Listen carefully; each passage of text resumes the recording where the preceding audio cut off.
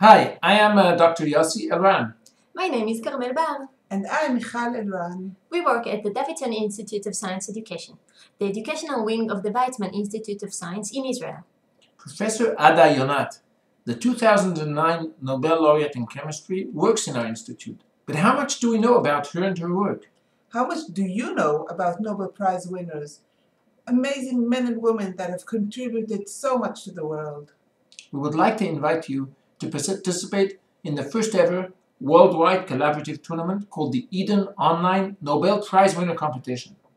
Join our mission to create an interactive world map of the Nobel Prize winners and their amazing achievements. All you need to do is gather a team of enthusiasts between the ages of 9 and 15 and create a multimedia presentation about any Nobel Prize winner you choose. The most creative team in each age group will win a unique Davidson Institute Science Curiosity box. The deadline for submission is May 20th, 2013. Make your markers as creative as possible. Your work will be judged during the Eden European Distance and E-Learning Network annual conference, which will take place in June 2013.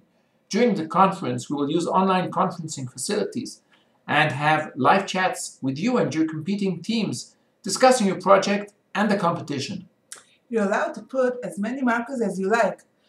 We will send special prizes to early birds, so check our website now. Good luck! Good luck! Good luck!